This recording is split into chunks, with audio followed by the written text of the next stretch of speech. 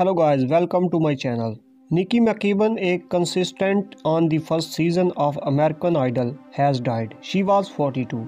McKibbin suffered an aneurysm on Wednesday. Her husband Craig Sadler announced Saturday in a Facebook post. McKibbin was kept on life support until Saturday so her organs could be donated. He wrote, She was so loved that I know thousands of you will be grieving with us. There are only a few hours left for me to hold her hand and kiss her forehead, Sadler wrote. Sadler said that when she was taken to the operating room, the surgical staff played the song Landslide, sung by Stevie Nicks, who McKibbin particle worshipped. Sadler asked a fan to make a moment to listen the song and think of McKibbin. She well know that you are sharing her farewell. She loved so many of you and I know you loved her too, he wrote. McKibbin finished third in the first season of American Idol in 2002, behind winner Kelly Clarkson and runner-up Justin Guarini. Nikki McKibbin was an incredible talent and we are deeply saddened by the news of her passing. She was part of our American Idol family and will be truly missed. Our hearts and prayers go out to the her family and friends during this difficult time. These all information according to the show's Twitter account. Please like this video and share and subscribe to our channel for more latest updates.